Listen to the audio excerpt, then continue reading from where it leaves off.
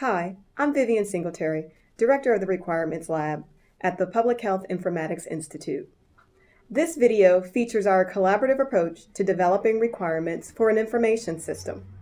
We refer to it as Collaborative Requirements Development Methodology, or CRDM. Thank you for coming today and welcome to Collaboratively gathering requirements means leveraging the collective wisdom of the people who do the work on a daily basis. Before requirements are even gathered, a business understanding of the work must be established. Now that we've completed the business process matrix, let's move on to the task flow. In this approach, people come together as a group to discuss and create a picture of the work process that occurs at a public health agency. The group discusses who participates in the process, what types of information are exchanged, and how the work gets accomplished.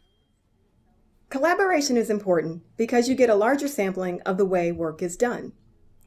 The group has to come together and build consensus versus just relying on one opinion.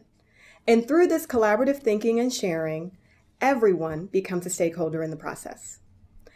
In the public health context, collaboration means bringing together people from within a program or an agency, or bringing together people with a similar role from different agencies.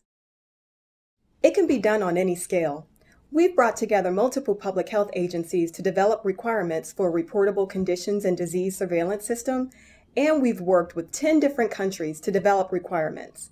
These collaboratively developed requirements served as the basis by which many of the participating countries chose to develop their own national health insurance information system. The most important point about bringing people together is that it's the actual people that do the work. This helps us make sure that we collect the information that is as detailed and accurate as possible. During a workgroup meeting, we use different graphical and text-based tools such as a task flow diagram or a business process matrix. This helps illustrate the work processes. We bring in drafts of these documents to start the group dialogue. It is an interactive discussion. Workgroup members will often write directly on the drafts. Sometimes we split the work group into smaller groups. Small group discussions are valuable to help ensure that every voice is heard. When the ideas are presented to the larger group, other people can help cross-validate and offer new ideas and perspectives. This collaborative approach enables agencies to reach agreement and use common vocabularies and definitions to describe their business processes. And it also provides an opportunity for, for different people to review and learn from each other's approach. This commonality enables agencies to collectively gain and articulate a clear picture of how information systems can support the work that they do.